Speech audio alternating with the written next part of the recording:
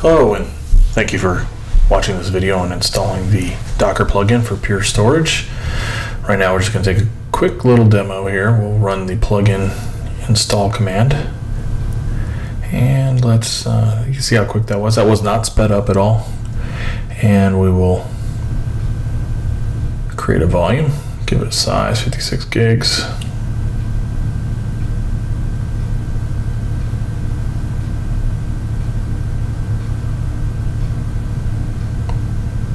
And a name. Now the size, that option minus O is optional. That's option. That's an option. That's optional. If you don't specify that, it, it will give you like a 36 gig volume. So we're just gonna look at my array real quick and see. Yeah, I did create it on the array. So it adds that name of the host in front of it. That's the namespace that is used more so in uh, Mesosphere and Docker Swarm for a namespace. Okay, so now let's run a container and attach that volume.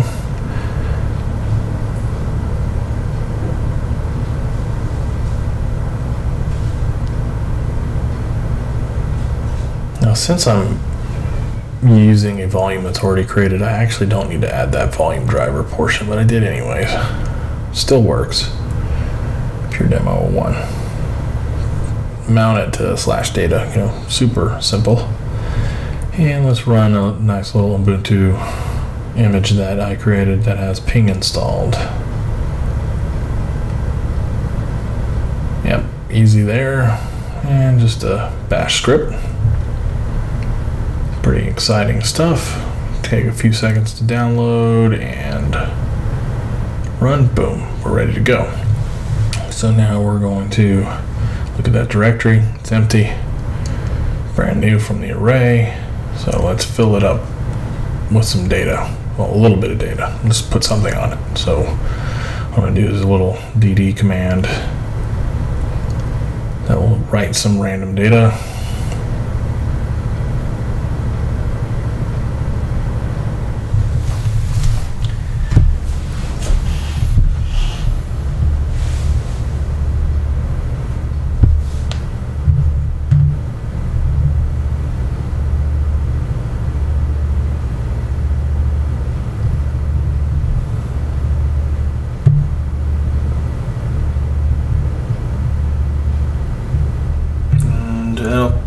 No, that didn't take any time at all.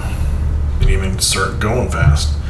Let's see, oh, there's my there's my file that I created, and yeah, it's two megs, just like it said up at the top. So let's do something a little more, slightly more exciting. Let's write a little bit more data this time. So we're gonna run that same command, but let's do it 40,000 times. Oh,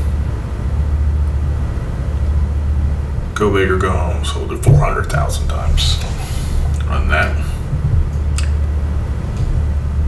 And a few seconds will go by. It's pretty nice there.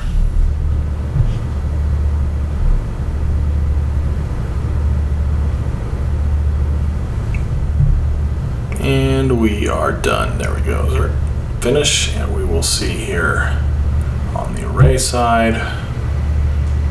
We'll actually list out the space so we can see hey how much is written here? And there we go. Getting 11 to 1 still kind of shows 100% thin provisioning because there's very very little.